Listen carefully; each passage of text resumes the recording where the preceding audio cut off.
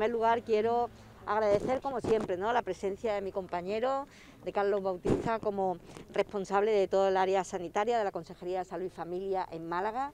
Agradecer también la presencia aquí del, director del 061 en nuestra provincia, en Málaga, nuestra directora de distrito y personal además muy vinculado con el hospital, nuestro director médico, en fin, todas las personas que están eh, trabajando sin descanso para que el salto cualitativo en, la calidad asistencial de la sanidad en Marbella, en el conjunto de la Costa del Sol y la provincia de Málaga, pero lo que a mí me compete en Marbella, pues sea una realidad. Y aquí estamos siendo una realidad con ese convenio que firmamos entre las dos administraciones, entre el Ayuntamiento de Marbella y la propia Consejería, para dotarnos de unas nuevas instalaciones, en este caso en el 061, que permitiera mayor agilidad, mayor cercanía, mayor eh, operatividad en un servicio esencial. Saben ustedes que el 061 opera pues en el momento que hay una emergencia, ¿no? Ellos tienen en, la zona de influencia suya, donde están aquí en su base, eh, que la tenemos aquí en San Pedro, operan para toda la, eh,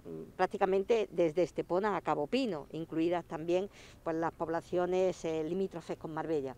Y al final el hecho de tener una ubicación también conectada, porque tiene salida inmediata a la carretera de Ronda, salida inmediata a la conexión no solamente de la autovía, sino también de la autopista, hace que el tiempo eh, de respuesta sea mucho menor.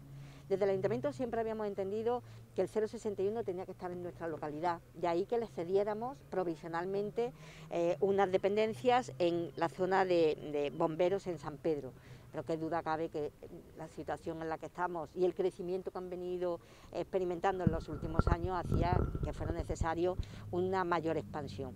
Por eso se le, se le cedió y nosotros hemos acometido las obras de, eh, acondicionamiento de esta parcela, una parcela que, como les digo, es una parcela pública, municipal, una parcela que en su totalidad de equipamiento son 1.700 metros, se ha ocupado aproximadamente unos 550 metros de superficie, hemos hecho, como ven, una, eh, bueno, pues unas dependencias acordes con lo que ellos nos han ido marcando, pero teniendo en cuenta, bueno, pues desde todas las plazas de aparcamiento, o sea, lo que es la urbanización de la propia parcela, acometidas, todo el tema de electricidad, todo el tema de saneamiento, abastecimiento, en torno a unos 120.000 euros que invierte el ayuntamiento que la verdad se compensa con el esfuerzo que por parte de la consejería se está teniendo en torno a las ambulancias. Estábamos hablando que el 061 aquí en esta base controla unas 10 ambulancias, además de las que tiene eh, el propio hospital con traslado de pacientes y por supuesto los helicópteros que saben que operan en Andalucía, y lo dirá ahora el propio, el propio delegado, y que tienen una operatividad y, van avanzando en cuanto al tratamiento inmediato que se puede dar en ese tipo, no solamente de la UBI medicalizada, que es la que tienen aquí, la UBI móvil, la ambulancia que va con UBI móvil, sino también pues eh, cuando se necesita algo más inmediato de, de, difícil acceso, la operatividad que los propios helicópteros del 061 tienen. Bueno, en definitiva yo les tengo que decir que como alcaldesa es una gran satisfacción. Estoy aquí también con mi compañero, con Javier García, que hemos estado trabajando mucho para que esto sea una realidad. Ya anuncié al principio de esta legislatura que estamos en la legislatura de los equipamientos.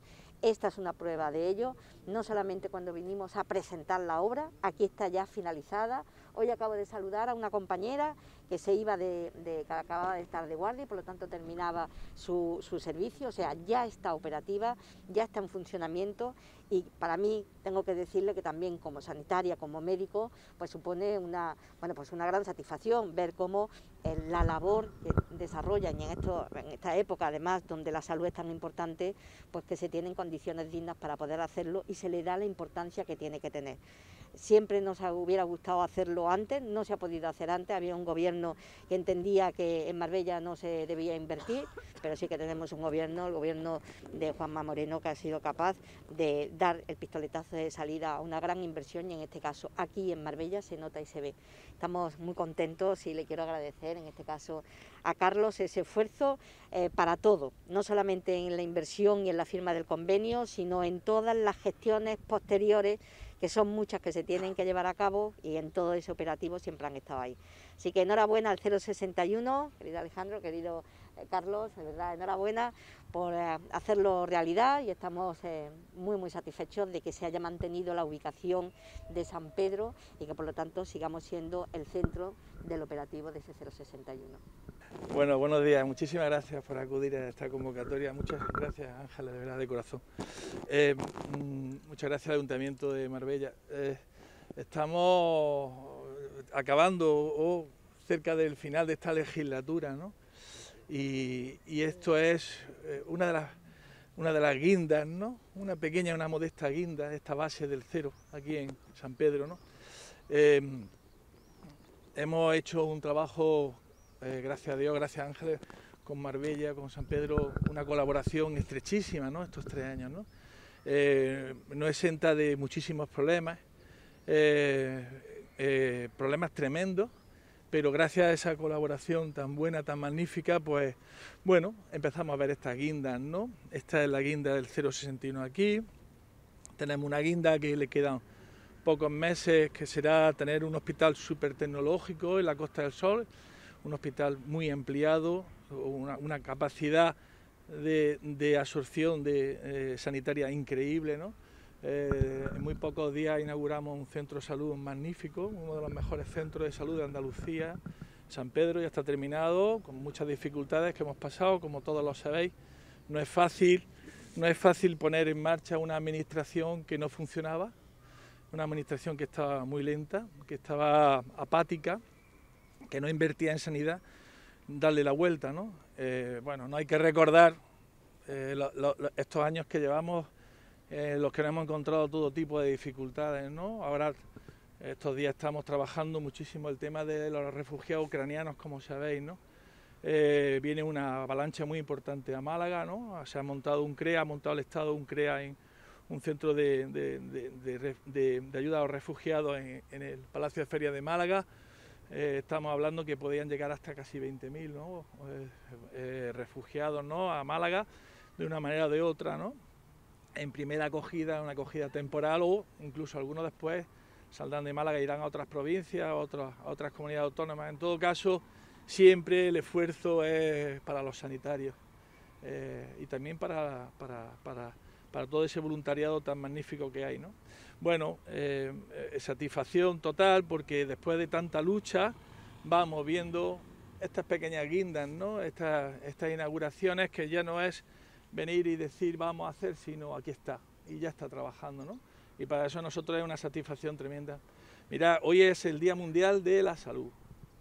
Eh, la Organización Mundial de la Salud dice que hoy es día 7, ¿no? que todas las administraciones deben eh, hacer un esfuerzo para que la, salud eh, sea universal y todo el mundo tenga acceso, pero sobre todo tenga acceso a la salud eh, las personas con menos recursos. Estamos en Andalucía, en Marbella. el paradigma de la solidaridad es aquí. el esfuerzo que hemos hecho sin recompensa ninguna, simplemente por ayudar por ejemplo, en la pandemia, los centros de vacunación masiva que, montó nuestra alcaldesa, la, reacción tan rápida, tan voluntariosa de nuestros sanitarios, que a pesar de jugarse la vida y la de su familia, en los primeros momentos dieron el paso adelante eh, con críticas, cansados, agotados, con mascarillas, sin mascarilla, acordaros. Hay que recordar todo eso, ¿eh? Eh, hay que recordarlo, ¿no? El trabajo tan magnífico que está haciendo el cero, que, que en cuanto llega el cero todo el mundo está tranquilo, ya sabemos que ese paciente, ese crítico está en las mejores manos, ¿no? Su capacidad de innovación, constantemente innovando, mejorando, más unidades, esas ambulancias son nuevas. Hace poco compramos 20 nuevas ambulancias, 20 nuevas unidades súper tecnológicas, le ofrecemos la máxima tecnología, los máximos recursos.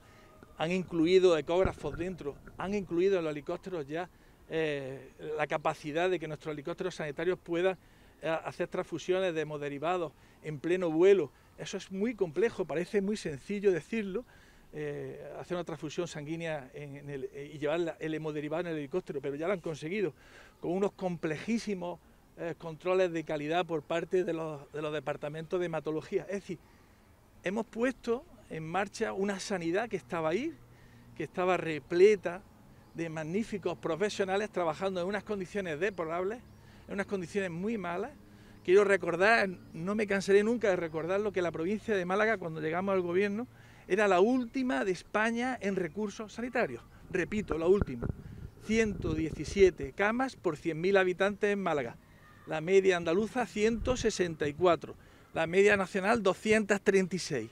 Estábamos menos de la mitad de la, de la media nacional en camas públicas por habitante, en la provincia de Málaga. Eso es lo que heredamos.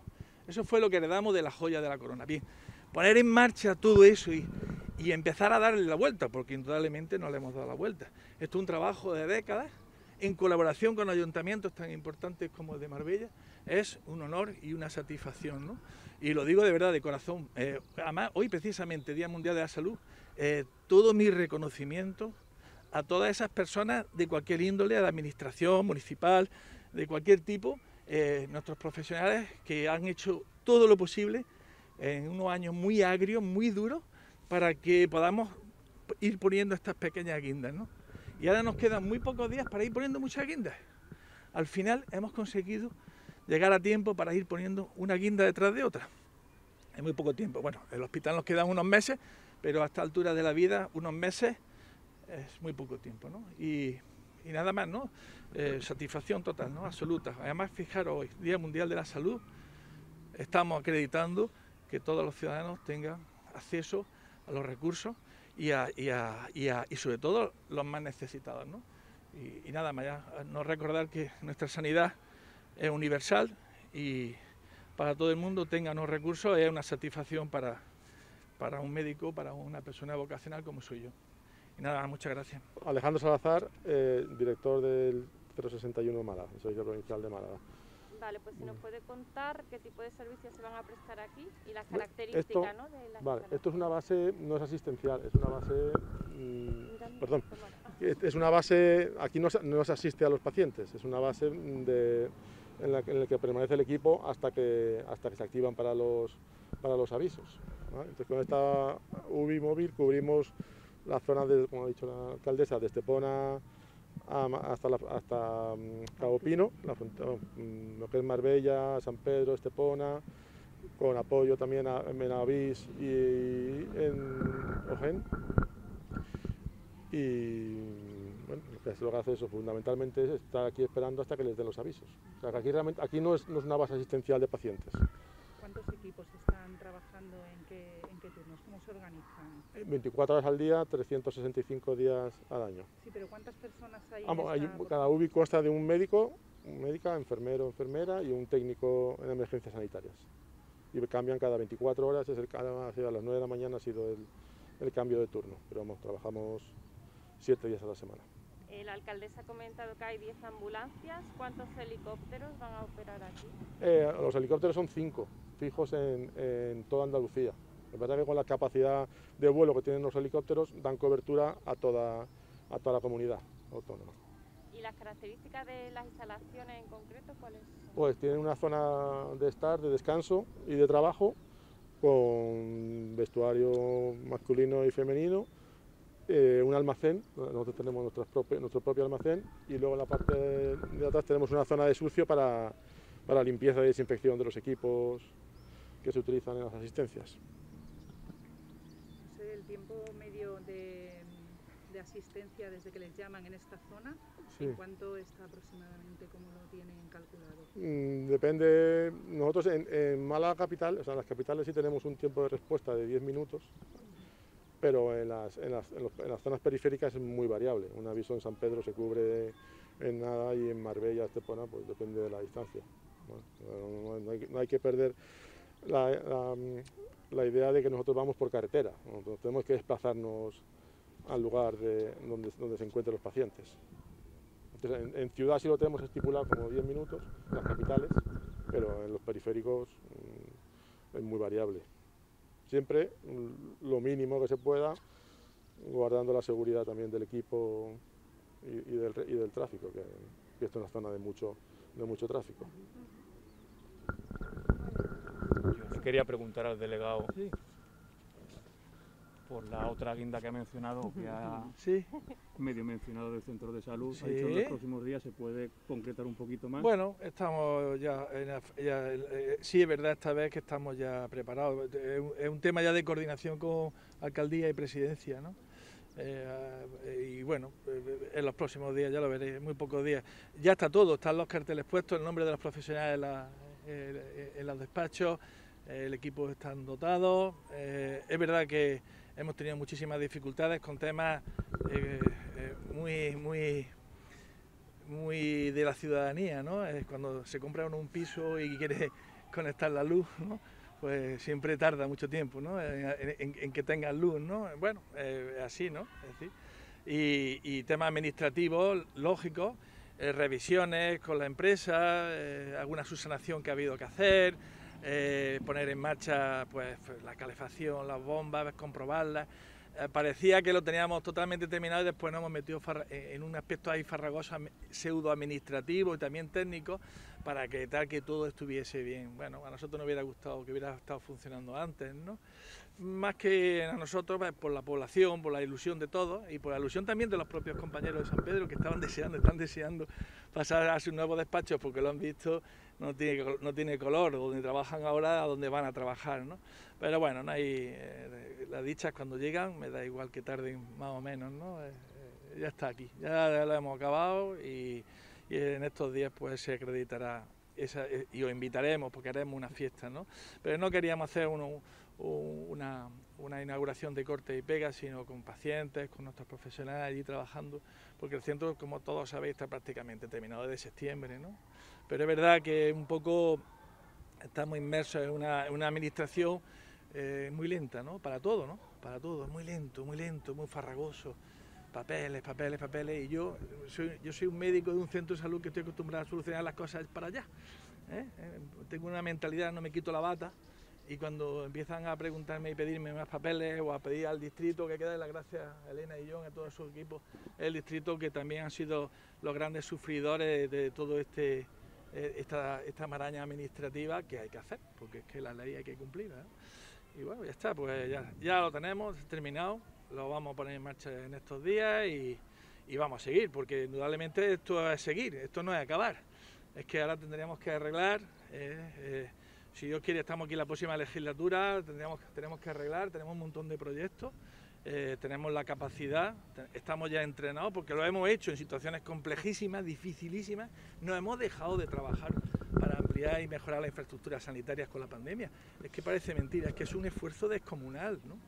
El que hemos hecho todos, ¿no? Todos, Y bueno, pues seguimos, tenemos que terminar muchos proyectos en esta zona, muchísimos, y en toda la, y en todo Málaga, ¿no? Eh, tenemos, tengo 64 obras en marcha en la provincia de Málaga, 64 algunas cosas son pequeñas, es verdad, algunas son pequeñas remodelaciones de aseo, de tal, pero hay obras muy importantes. Entonces, bueno, pues vamos ahí, vamos a conseguir, eh, si lo conseguimos, yo, estoy convencido que sí, darle la vuelta a la infraestructura sanitaria de la provincia de Málaga para 30 años, ¿eh? O sea, que se dice muy pronto todos estos centros de salud, el anterior pues tendría 30 años, ¿no, alcaldesa? Exactamente. Pues los nuevos pues vamos a calcular que sean para otros 30, ¿no? también depende de cómo crezca la población, pero ya por lo menos sobredimensionados, dándole a nuestros profesionales las mejores herramientas para que hagan su trabajo con calidad. Ellos saben hacerlo. Eh, pero hay que proporcionarles espacio, tecnología para que puedan desarrollar su trabajo y tiempo, y tiempo. Y por eso nuestro objetivo en la próxima legislatura, si seguimos aquí, repito, es eh, seguir trabajando las infraestructuras que ya están puestas en marcha, ya es simplemente dejarlas rodar, los proyectos, porque además los, tenemos ya, los tendríamos ya eh, financiados, y, trabajar el tema de profesionales. Gracias. Hay que hacer muchas cosas con los profesionales.